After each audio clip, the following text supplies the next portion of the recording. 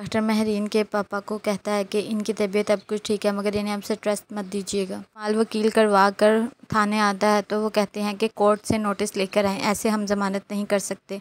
वकील कहता है कि आज हफ़्ता है तो पुलिस वाला कहता है कि इसमें भी मेरा कसूर है, अगर वह आज हफ़्ता है। बेबी बाजी को कहती है क्या वासिफ ने कभी ज़िक्र किया था कि वो किसी लड़की को पसंद करता है। बेबी बाजी कहती है कि अगर मुझे वो बताता तो मैं एक दफ़ा ज़रूर उस लड़की को देखने जाती। बी नसीर वहाँ बैठा होता है और कहता है, मैं भी तो किसी लड़की को पसंद करता था और आपने उसका रिश्ता तो लेने नहीं गई थी। आसिफ की दफ़ा आपके असूल बदल जाने थे। वो असमा का हाथ पकड़ता और कहता है, इस घर से दफ़ा हो जाओ, मुझे इसके साथ नहीं रहना। उधर बेबी बाजी नसीर को बाहर भेजती हैं और असमा को चुप करवाती हैं। वासिफ के पास आता है और कहता है कि आज तो तुम्हारी ज़मानत मुश्किल ही है।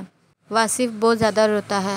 वलीद को कॉल करती है, लेकिन वलीद अटेंड नहीं करता। तो समन कहती है, तुम कॉल उठाओ और कह दो, वासिफ भाई अपने दोस्त के पास गए हुए हैं किसी काम से। कहता है, वासिफ भाई किसी काम में बिज़ी हैं, जैसे ही फ्री होंगे, आपसे कांटेक्ट कर लेंगे। अली वासिफ लोगों के घर जाता है और कहता है, इसमें वासिफ की कोई गलती नहीं है, वो उसे पसंद नहीं करता था, वो वासिफ के पीछे पड़ी हुई थी। इधर फरहत का पापा बारात के लिए अरेंजमेंट्स वगैरह कर रहा होता है। सिद्दीकी साहब उसके घर वाले मीन के डैड से बात करने आते हैं। उनके घर में दूरबीन लगी होती है। अजरा कहते हैं, काश ये दूरबीन हमारे घर होती, मैं हर वक्त शनाज के घर पर नज़र रखती का अबू कहता है कि आपसे गुजारिश है कि आप ये एफ़ आई आर वापस ले लें। मीन कहता है, आप मेरी बेटी के लिए अपने बेटे का रिश्ता ले लें। आसिफ का अबू कहता है कि आज उसकी बारात है, किसी और बेटी का बाप भी आज इंतज़ार कर रहा होगा। इनका डैड कहता है, अगर आपने मेरी बात नहीं मानी तो जाए फिर अपने बेटे की ज़मानत का बंदोबस्त करें। हाल कहता है, हमें पता है आप बहुत असर रसूख वाले हैं।